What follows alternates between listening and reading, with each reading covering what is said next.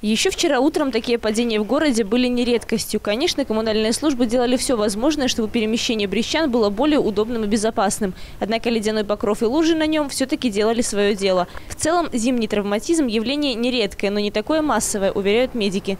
Обычный сценарий схож с легендой, которую рассказывал в знаменитом советском фильме «Бриллиантовая рука» герой Юрия Никулина. Поскользнулся, упал, очнулся, гипс. Чаще всего это, конечно, повреждение э, нижних конечностей. Самое легкое – это перелом лодыжек э, и вывихи в верхних конечностях. Когда люди падают на выпрямленные руки, получают вывихи предплечья, локоть, плечо, ну и переломы лучевой кости в типичном месте. Если вы упали и ушибленное место не дает покоя, значит не стоит откладывать с походом к врачу. На первый взгляд, обычная травма может нести за собой серьезные последствия. Особенно если дело касается ребенка. Здесь список зимних неприятностей может пополниться и другими осложнениями. Это могут быть также холодовая травма, обморожение.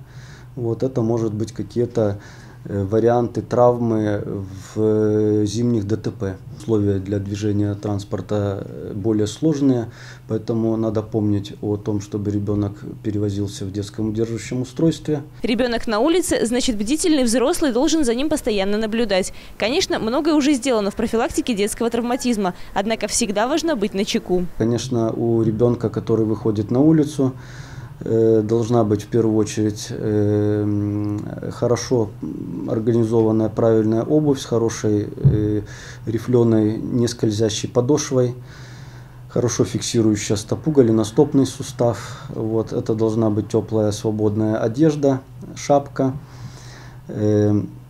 Конечно, надо всегда родителям следить где их ребенок, чтобы не было момента недосмотр со стороны взрослых, когда ребенок идет на горку, на речку, может залезть на скользкое дерево. На ближайшие дни синоптики передают довольно теплую для зимы погоду. Однако ночные заморозки все-таки будут время от времени чередоваться с дневным плюсом. Именно поэтому врачи рекомендуют брещанам быть бдительными и осторожными, а в случае необходимости не затягивать с медицинской помощью.